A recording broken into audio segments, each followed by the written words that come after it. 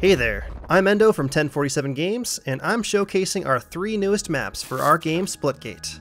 We start here at the mining operation of Crag. The top side of Crag is wide open, which provides clear sightlines for long-range encounters, but in the lower sections of the map, players wise to the twists and turns of the mine will have a significant advantage. So, when you get your hands on Crag or any of our maps, we recommend getting familiar with the layout.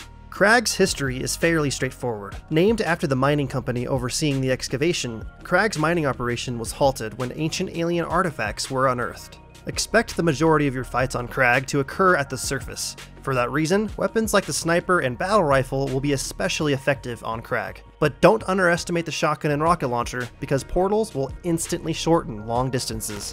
Our next map, Foregone Destruction, draws inspiration from the classic arena, Facing Worlds. At 1047 Games, our goal with Splitgate was to take what made classic shooters fun and innovate on top of it. Foregone demonstrates this vision perfectly with the multi-level bases facing each other and several portal walls scattered throughout the map. Not much is known about these temples or why they exist, only that they were found in near perfect condition with an unknown creator. The quickest portal players will be rewarded on Foregone Destruction. Focus on flanking and moving quickly to keep your enemy off balance, or use one of the two sniper rifles and pick them off at a distance. Lastly, our third map takes place at the impact site of an alien ship that landed on a farm. You might think this was an unfortunate event for these poor farmers, but when they were approached to turn their farm into a Splitgate arena, their fortunes were immediately turned.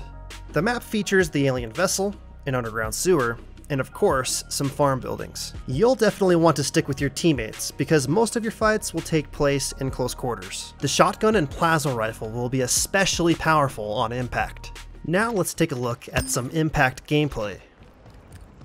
It looks like a close-up fight is about to happen, so first we'll pick up the shotgun, and then join the fun. Double kill!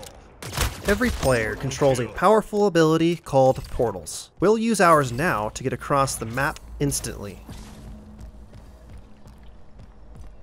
The alien ship holds a lot of mysteries, but right now we're more concerned about winning.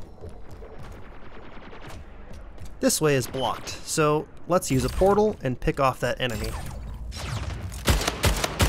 Killing spree! Double kill! Alright, time to finish this out with some teamwork and shoot someone through our portal.